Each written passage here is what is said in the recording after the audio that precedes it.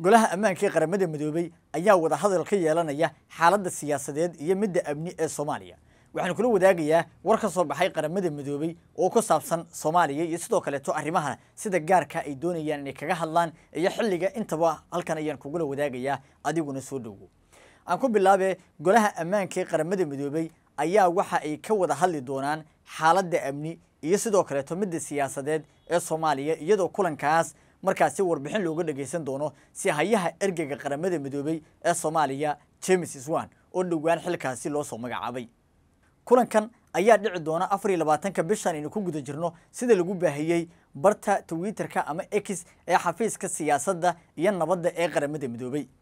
kulankan golaha qaramada midoobey ay kaga hadlayaan xaaladda amni iyo sidoo kaleeto midda siyaasadeed ee soomaaliya ayaa ku soo beegmaya iyadoo dhowaan soomaaliya ay codsatay in la xiro xafiiska kaalmeynta qaramada midoobey ee soomaaliya ee unsom arrintaas oo dabcan markaasi doodo xoogani ay ka dhasheen isla markaana ay dabcan qaramada midoobey iyo sidoo kaleeto qaar ka mid a beesha caalamkuba ay dabcan isla qaateen markaasi in dib u eegis lagu sameeyo xafiiskaasi balse dabcan hadda aan albaabada la isugu laabin soomaaliya oo u tartamaysa kursiga aan joogtada ahayn ee golaha ammaanka ee qaramada midoobey ayaa doonaysa in wax laga bedelo wada shaqaynta soomaaliya iyo qaramada midoobey waxa ayna dowladdu ay sheegtay in la joogo wakhtigii xoojinta awoodaha markaasi hay'adaha dowladda.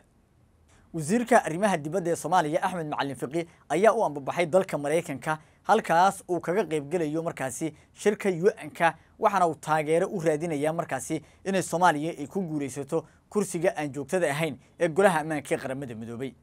bishaaro bishaaro bishaaro shirkadda isgaarsiinta somtel oo soo kordhisay adeega kaafiya balas kaasoo aad ka heli kartid nus dolar ilaa iyo konton dolar haddaba macamiil ku shuba nus dolar oo hel hal dhibic shan g b oo ay la socoto toddobaatan daqiiqo iyo konton fariin qoraaleed ku shuba hal dolar oo hel saddex g b oo ay la socoto boqol iyo afartan daqiiqo iyo konton fariin qoraaleed sidoo kale macamiil ku shuba laba dolar oo hel lix g b oo ay la socoto laba boqol iyo siddeetan daqiiqo iyo boqol fariin qoraaleed ku shuba shan dolar oo hel saddex iyo toban g b iyo bar oo ay la socoto lix boqol oo daqiiqo iyo laba boqol oo fariin qoraaleeda sidoo kale macaamiil ku shubo toban dolar oo hel soddon g b oo ay la socoto kun iyo laba boqol oo daqiiqo iyo saddex boqol fariin qoraaleed ku shubo labaatan dolar oo hel toddobaatan g b oo ay la socoto laba kun iyo afar boqol oo daqiiqo iyo saddex boqol s m s. Sidoo kale macaamiil ku shubo konton dolar oo hel boqol iyo konton g b oo ay la socoto lix kun oo daqiiqo iyo saddex boqol s m s. Adeega kaafiye blas waxaad ugu shuban kartaa